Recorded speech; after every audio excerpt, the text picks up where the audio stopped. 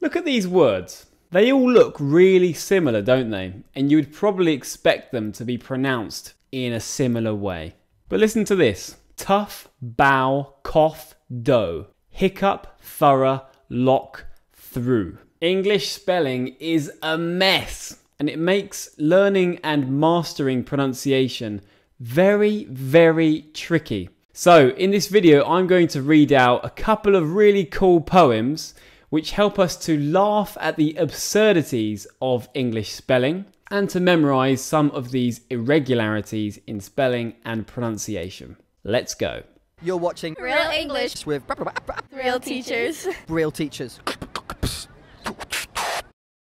So, while I am reading these poems, what I would really like you to do is to copy me, to imitate what I am saying, because imitation will really help you to improve your pronunciation and also your listening skills. Before I start to read the first poem, here's a quick word from Charlie. Before we go any further, I'd like to say that this video has been sponsored by italki, a website for language learners to find their perfect online tutor.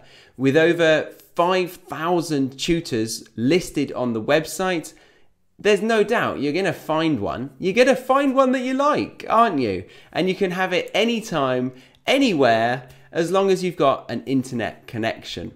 And you can even find some incredibly affordable community tutors that will allow you to keep your speaking practice up, to not lose what you've just learned. And of course, Harry and I are on this platform. So if you wanted a one to one class with us over the other 1,719 other native English teachers listed, then be our guest. So check out our link in the description box below after this video that will enable you to get $10 worth of italki credits after your first lesson purchase. So we hope that benefits you, but let's get back to the video.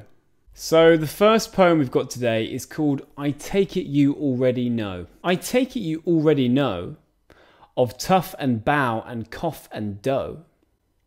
Others may stumble, but not you, on hiccup, thorough, lock and through. Well done! And now you wish, perhaps, to learn of less familiar traps.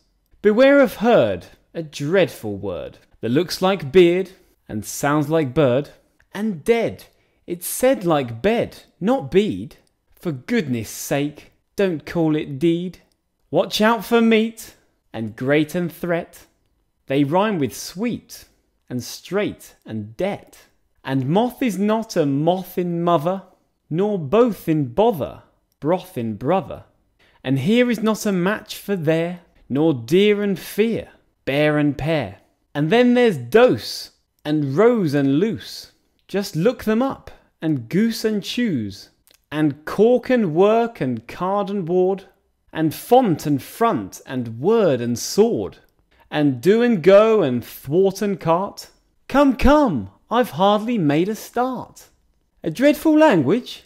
Man alive! I'd mastered it when I was five. So unfair, isn't it? So that was a really good one. Uh, the next one we have our strange lingo. Our strange lingo. When the English tongue we speak, why is break not rhymed with freak? Will you tell me why it's true we say so, but likewise few? And the maker of the verse cannot rhyme his horse with worse. Beard is not the same as herd, chord is different from word. Cow is cow, but low is low. Shoe is never rhymed with foe. Think of hose, dose, and lose and think of goose, and yet with choose, think of comb, tomb, and bomb, dole and roll, or home and sum. Since pay is rhymed with say, why not paid with said, I pray? Think of blood, food, and good. Mould is not pronounced like could.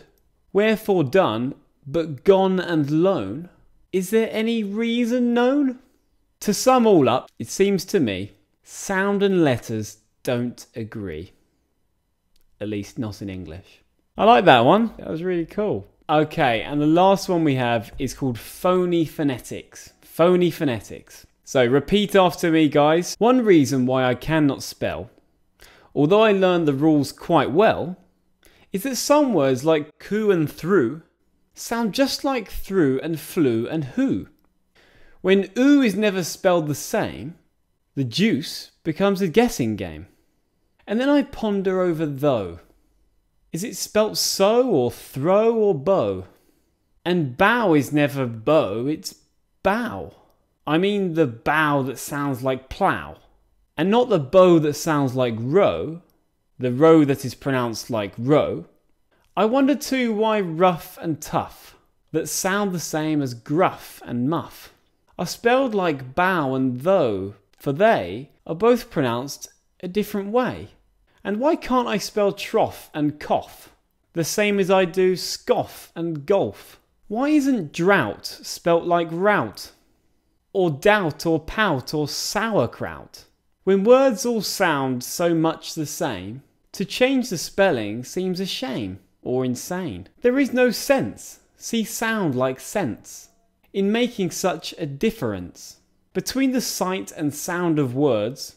Each spelling rule that undergirds the way a word should look will fail, and often prove to no avail, because exceptions will negate the truth of what the rule may state. So, though I try, I still despair, and moan and mutter, It's not fair!